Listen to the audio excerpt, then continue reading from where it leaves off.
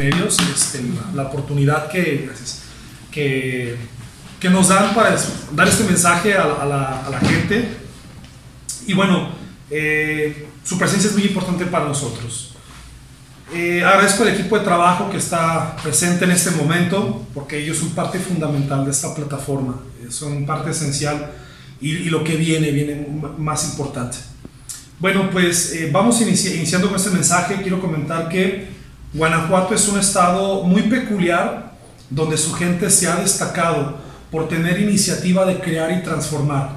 Nuestro estado cada vez se está consolidando como una entidad fuerte y dinámica, dotada de emprendedores ambientales, culturales, empresariales, educativos y sociales.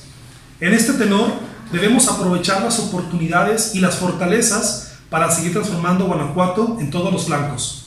Precisamente Hablando de los emprendedores sociales, cabe destacar que desde el año 2015 han surgido esas inquietudes en las y los ciudadanos eh, guanajuatenses por trabajar en el servicio público sin pertenecer a un partido político.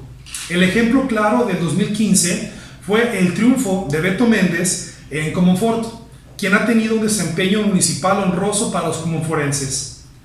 Recientemente, el proceso electoral 2017-2018 nos dejó un gran sabor de boca, pues hubo una participación de 22 candidatos a los municipios del estado de Guanajuato en 17 y una participación de dos candidatos a las diputaciones locales.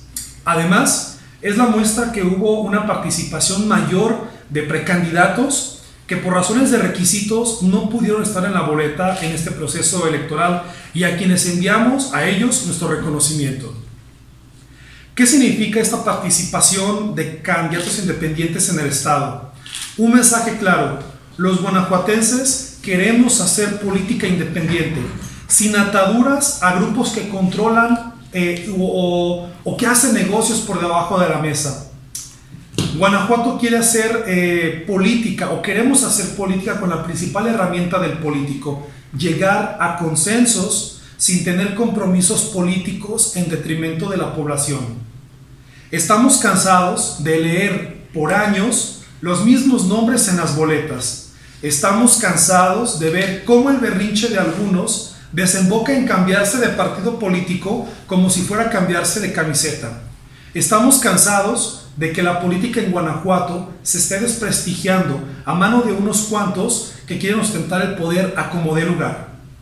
En Guanajuato, caro nos está saliendo el llamado voto masivo, el voto duro, el voto en cascada, que no es otra cosa más que una práctica obsoleta heredada de la política del siglo XX.